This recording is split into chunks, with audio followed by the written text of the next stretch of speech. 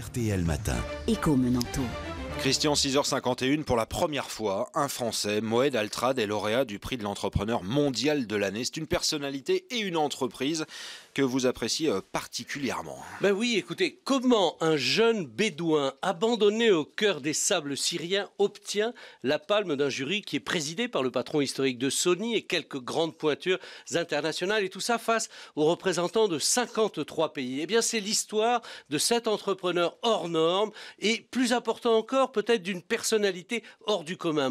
Moed Altran, il apprend à lire en recopiant un livre d'école. Il a la chance à ce moment-là d'être repéré par un instituteur. Il ira donc au lycée de Raqqa, qui est aujourd'hui la sinistre capitale de Daesh. 15 ans plus tard, une bourse d'études en France et un diplôme d'ingénieur en poche. Il travaille chez Alcatel puis chez Thomson et il décide de lancer sa propre boîte qui commercialisera le premier ordinateur portable en France, le fameux Altrad. À l'époque, les banquiers l'ignorent et donc, faute de moyens pour se développer, eh bien, il vend sa boîte à Matra et rachète dans la foulée un petit fabricant d'échafaudage dans l'Hérault eh bien, il l'a transformé en numéro un mondial des bétonnières, en leader européen des échafaudages et en champion français du matériel tubulaire pour les collectivités. Parcours exceptionnel, est-ce qu'il a une recette miracle? Bah, Il a bien sûr d'abord son, son, histoire personnelle qui est hors du commun, mais il a surtout ce souci permanent de la croissance. Altrad enregistre une croissance moyenne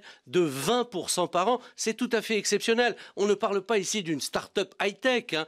Et cette entreprise, il faut bien s'en souvenir, elle est née des cendres d'une PME en faillite et elle fabrique aujourd'hui ses matériels dans 12 pays. Elle possède des représentations commerciales dans plus de 100 contrées à travers le monde et elle va doubler cette année son chiffre d'affaires à près de 2 milliards d'euros après le rachat de son grand concurrent néerlandais du coup, ces effectifs vont passer à 17 000 personnes. Vous voyez, ce sont des performances d'autant plus étonnantes que la crise du bâtiment est quasi permanente depuis le début du siècle en France. Ça veut dire quoi Qu'il va continuer à se développer en France? Bah écoutez, ce groupe, il grandit chaque année un peu plus depuis plus de 30 ans. Il est la preuve que même dans les métiers traditionnels, on n'est pas ici en train de parler de biotechnologie ou d'intelligence artificielle. Hein.